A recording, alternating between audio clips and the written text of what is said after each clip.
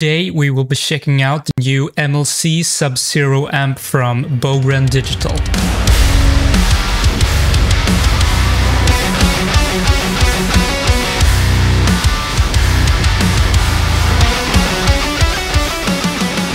Inside Cubase and I'm not gonna waste any of your time. I'm gonna show you straight away how the rhythm guitar tone sounds.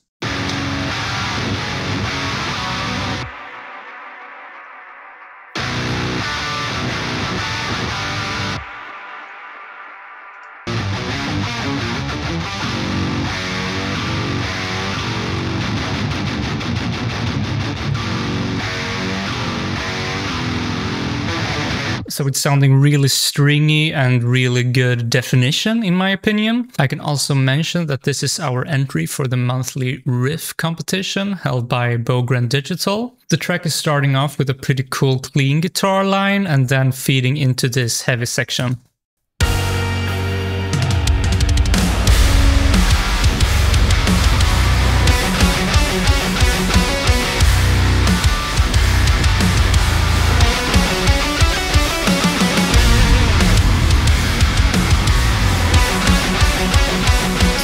Have been using the MLC Sub-Zero amp for both the rhythm and the lead guitars. First, I'm going to guide you through the different functions of the amp, and uh, then I'll go into how I mix this tone. Overall, I think the UI is super clean, super smooth, very reminiscent of the Neural DSP UI, which I think is great. There are two overdrive pedals, one a little bit softer and one a bit more aggressive. And of course, we're using the aggressive one with these settings here. Moving on to the actual amp, you have a gate, which I'm using like this, a presence knob, a depth knob, and also you can choose between low gain or high gain. Of course, you always choose the high gain. The gain knob, pretty self-explanatory, volume, same thing there, bass, middle, and treble, you recognize from pretty much every other amp. You also have this switch down here, which emulates a British style circuit. Let's listen to what that does.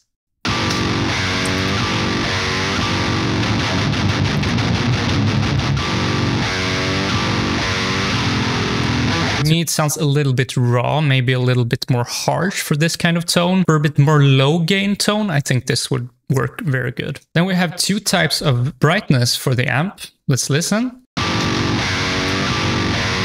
is off.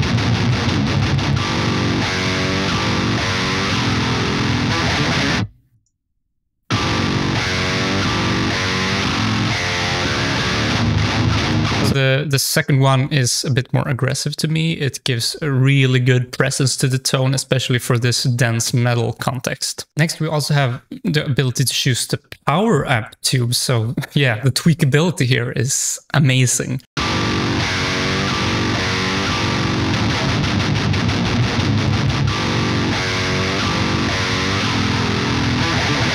So when I switch to this EL34, to me it saturates a bit heavier. It's a bit less defined maybe, so I then prefer the 6L6 for this kind of tone. The main thing on the amp page, in my opinion, is this channel selector. You have three different channels to choose from. And what is really cool is that it saves the settings for each channel. So an idea would be to uh, tweak the different channels to your liking, and then you can just automate it here on the track to switch between the different channels for different parts of the song. That's a really cool feature in my opinion. Let's have a listen.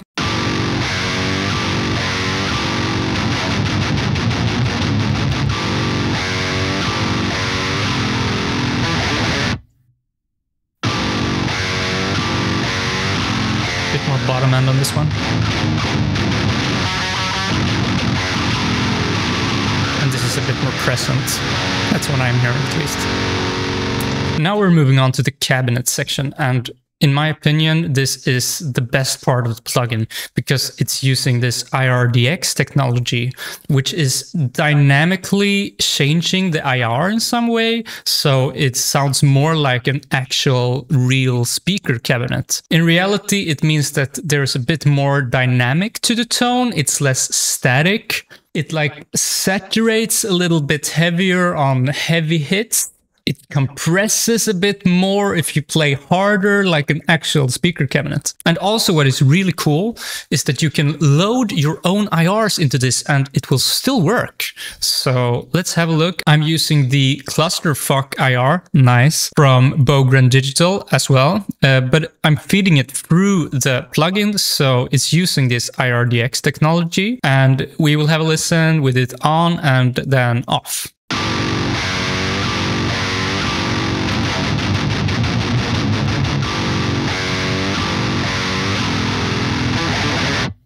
So yeah, the placebo effect may be strong with this one, but if you really listen to when Severed is hitting the super strong, like these low hits, listen to how the amp saturates. You really hear the difference there, in my opinion. Let me just loop that for you.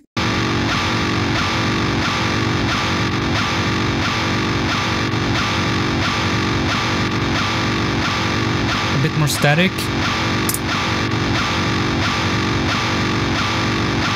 It's like a compressor with a slow attack almost. Uh, the attack is increased, I feel.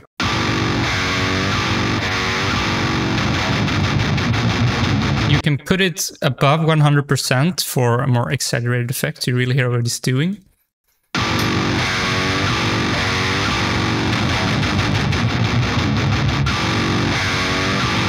Adding a bit of presence as well.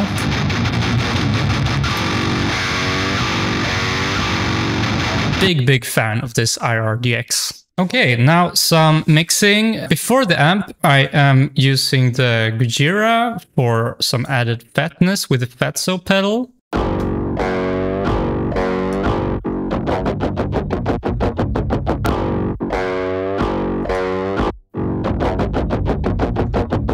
Making the guitar sound more low tuned than it actually is. Next we have this funny looking equalizer. Let's have a look. Now I'm gonna put on the amp for some context.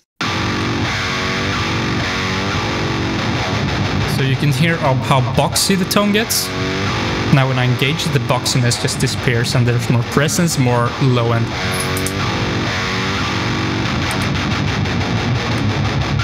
It's mainly this part.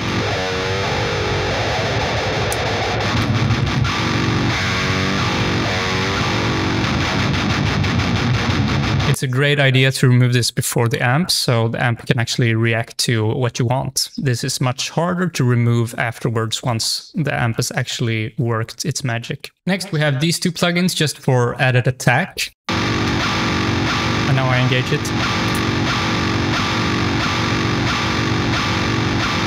Listen, more attack now. This is a cool trick to add more aggressiveness to your tone. Moving on to the bus that I'm feeding both of these guitars into. Without any processing on the bus, it sounds like this.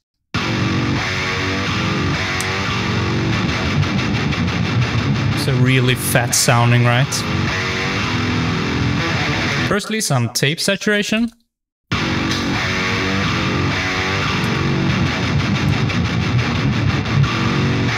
This is adding fatness and some added saturation to the tone. Bass-Mint by Unfiltered Audio, removing some rumble.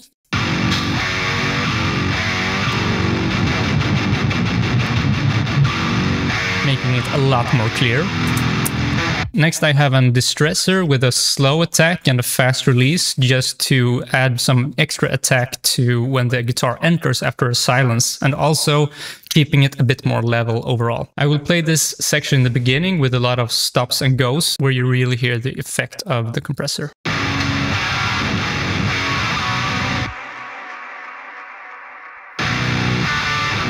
Here we can have a look. It's quite subtle, but still is some added smack.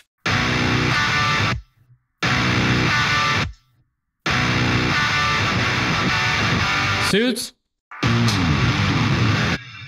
removing some rumble as well as some harshness. I love Soothe for smoothing out the low end of a guitar because it dynamically removes what is needed. There is no static cuts.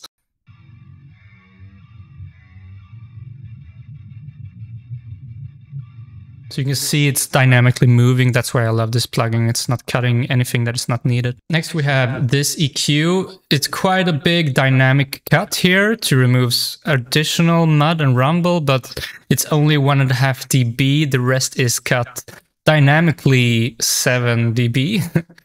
Next is this trick, which is adding a bit of mid information to guitar to make them stand out a bit more on small speakers like Bluetooth speakers. Cool trick. It's this part. Okay, EQ is doing this, making it a lot more clear now.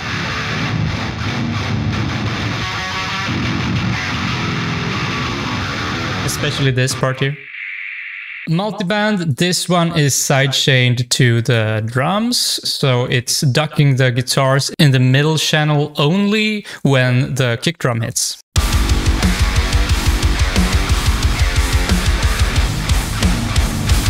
And finally, just an imager making it slightly wider. Now with the bass, everything, it sounds like this.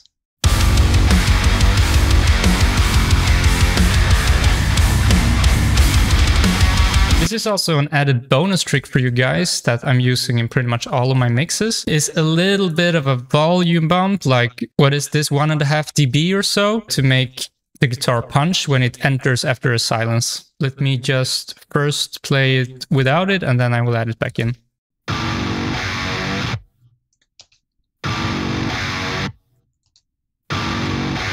adding a bit more smack. I'm also doing this to the drums.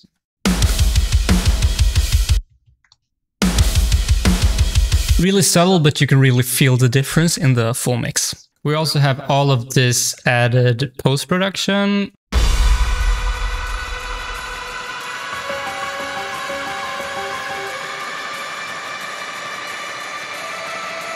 I am planning to do a full video on how to produce and mix post-production in a metal context, so if you're interested in that, consider subscribing. I will just quickly show you the clean guitar. For that, I am using what is, in my opinion, the king of clean tones, the Plini.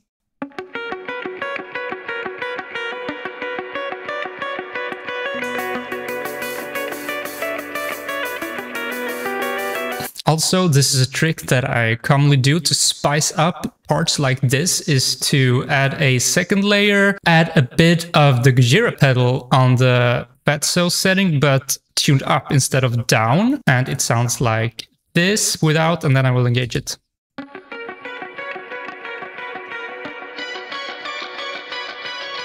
I'm also spreading it using the microshift by Soundtoys like this.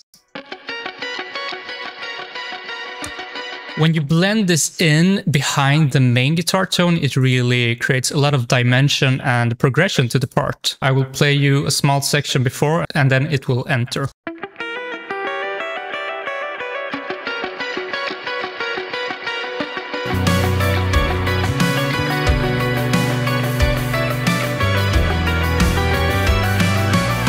Bonus songwriting tip for you guys is uh, since this is only like a one and a half minute song, we still wanted it to feel like a song and not just a collection of riffs. So when this part enters at the end,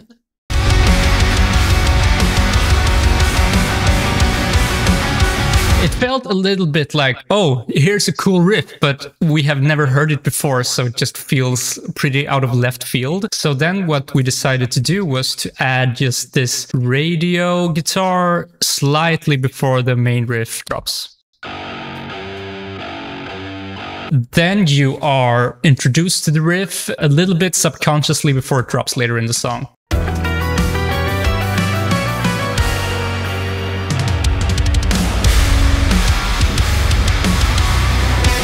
Okay, moving on to the lead guitars. These are also using the Sub-Zero amp. Firstly, just a compressor here, making it slightly more level. I can also mention that both this lead guitar and the rhythm guitar have been tracked using the Misha Mansoor 7 string with the Evertune as well as the Precision Drive pedal from Horizon Devices. Yes, we are Periphery fanboys, just like you. Just using the prog metal solo preset actually, not anymore, but we found that the guitars were a bit disjointed. So here's a cool trick you can use. is actually using the same IR for the lead guitar as for the rhythm guitar. And that really ties the room together, as you say. No, but it, it ties the tones together in a really good way and it makes it flow a little bit more. Also, I am feeding in this swell before which you can't hear properly, but you can feel it and it like ties the two sections a bit more together. Let's have a look. After the amp, just some saturation, both from the VMR and then also with a tape plugin here.